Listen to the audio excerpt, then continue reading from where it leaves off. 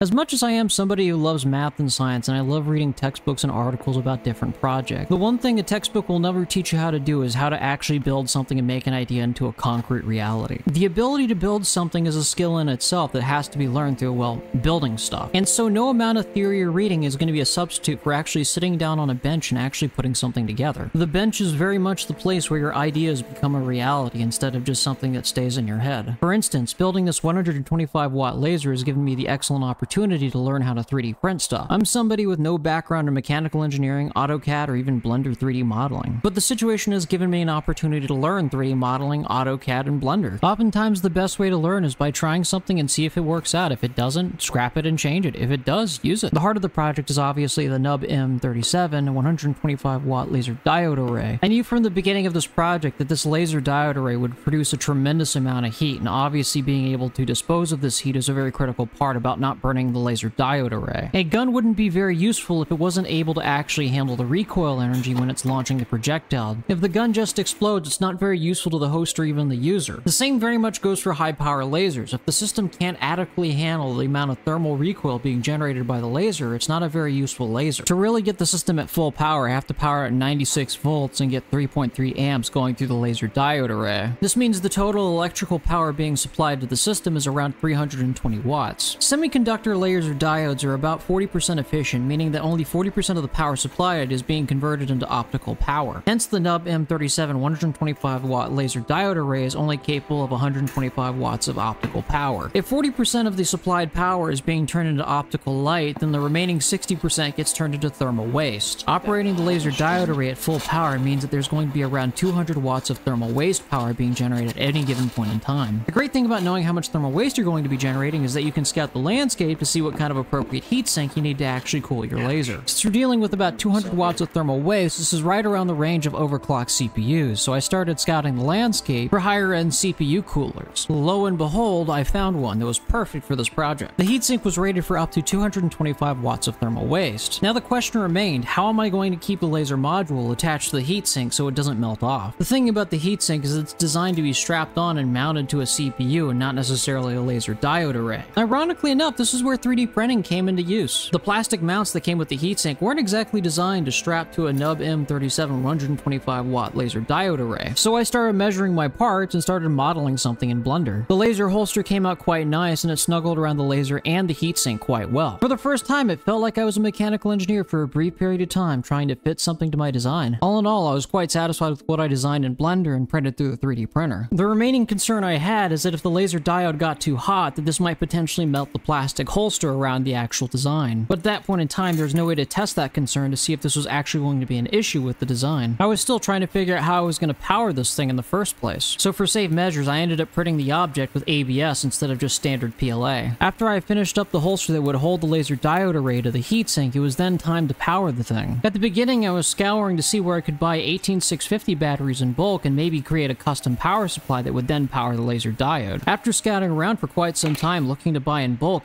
18650 batteries, I began to think and ponder if I actually wanted to build the array myself. And that's not even mentioning how I was going to charge that particular array that was so non-standard. But then a light bulb clicked with power tool batteries. Most electric yard tools and power tools required high drain batteries in the first place. It was then I remembered that these batteries themselves are 18650 arrays. I then remembered I had a 40 volt Ryobi battery in my garage, which I always used to power my electric weed eater and blower. This battery was perfectly capable of supplying the power I needed to actually power the laser diode array. The battery stores about 144 watt hours worth of energy. If the laser diode array is sucking up about 320 watts of electrical power, then this battery should last a total of 20 minutes. The last problem in adequately powering the device is of course supplying 96 volts and not just 40. The great thing about the microelectronics revolution that it's pretty much standardized every boost converter to have a load sensing feedback controller. The load sensing microcontroller of the boost converter can then adjust its parameters to meet the voltage requirements of the particular load. After looking around for some high power boost converters, a couple landed on my radar and they were actually quite fairly cheap. When they arrived, it was only a matter of wiring everything up. While this chassis is a prototype, it's far from the final design and I'm still screwing around with Blender to make a consolidated design because I want this to be portable at the end of the day. So subscribe and stick around for videos later on this project. Without further ado, I'll quit boring you with all the engineering talk and let you enjoy your pyro porn. That's probably the reason why you clicked on the video in the first place. I hope you enjoy watching me set stuff on fire.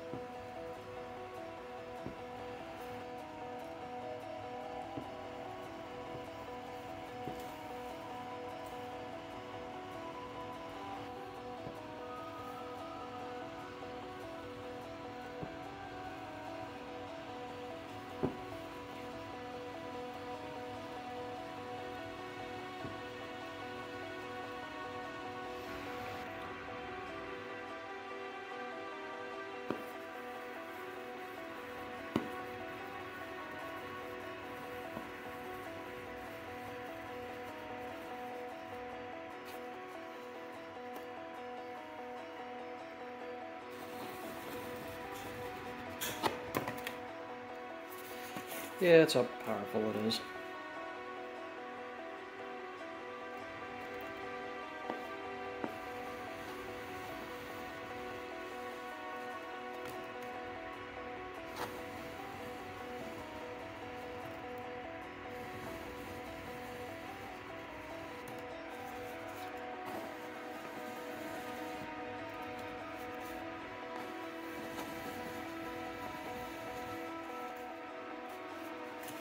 Alright, let's extinguish this.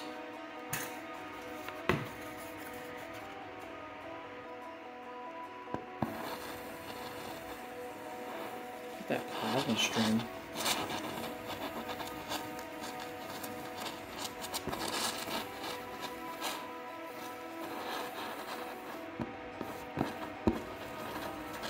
Ouch.